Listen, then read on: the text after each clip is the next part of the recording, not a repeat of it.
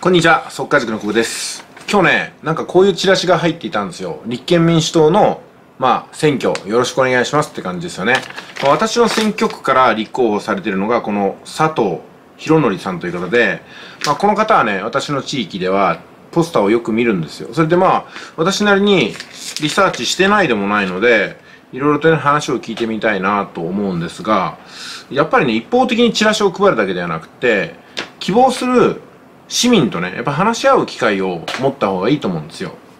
うん、あの公明党の方はね、何人か何回か私の家にも来てくれてるんですよね。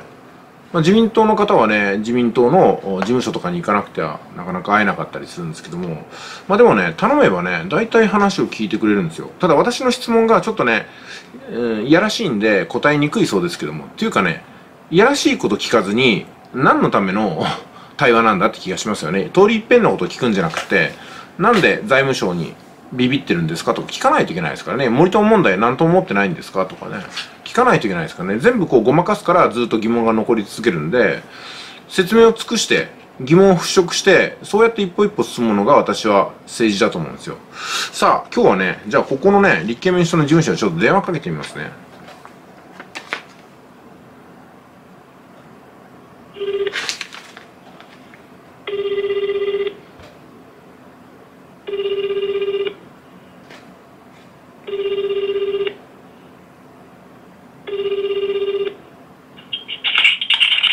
はい、もしもし。こんにちは。あ、こんにちは。私、あの、久保と申します。あの、この度にあの、チラシが入ってまして、佐藤はい。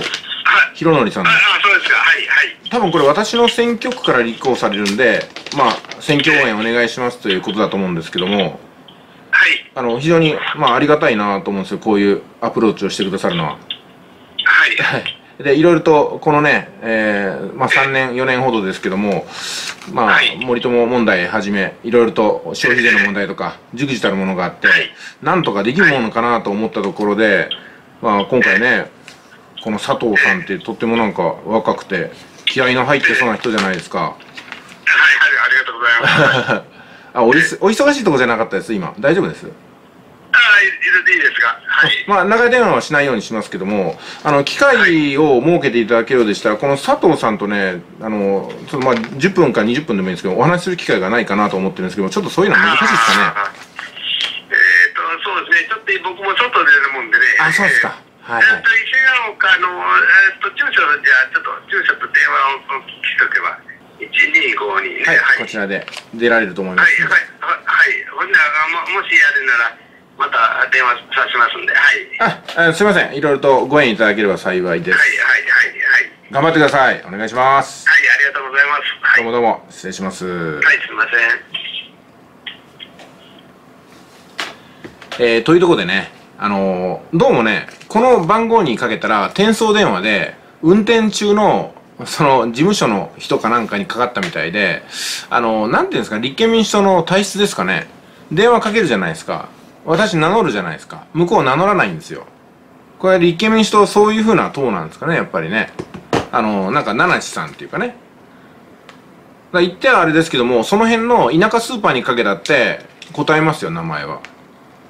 何なんですかねそういう文化なんですかね別に答えてくれればねなんか田中ですとかね別に名前となんか出所身体を一致させようなんてことはないわけですからとりあえず名前ポンと言えばいいわけなんでね仮名でも何でもうん。まあいいでしょう。うん。まあ石は投げましたんでどういうふうに投げ返してくれるかってことなんですけども私が聞きたいのはねあの正気ですかってことなんですよ。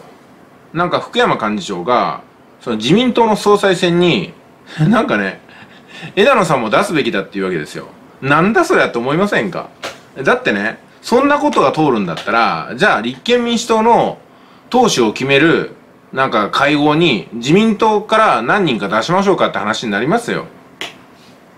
そもそも党で割ってる意味がないじゃないですか。それ福山さん、あれですよ、枝野さんと一緒に自民党入ればいいって話になるじゃないですか。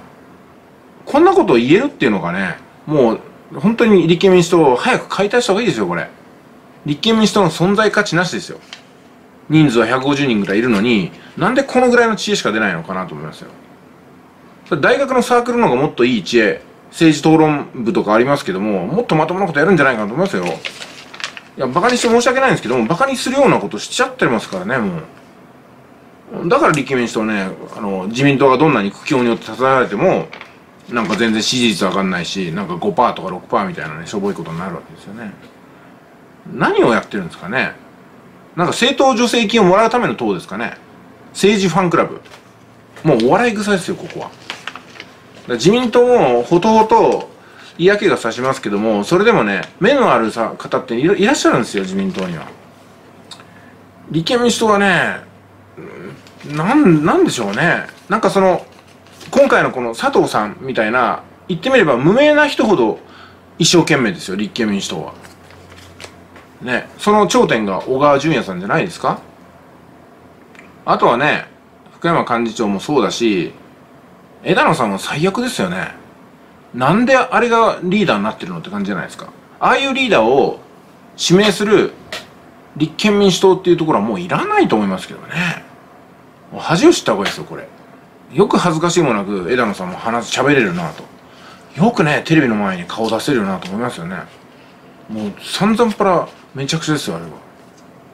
うん、だから自民党がのさばるばかりじゃないかというね。もう期待していただけに民主党の、うん、ね、復活に。もうね、これはダメだなと思いましたね。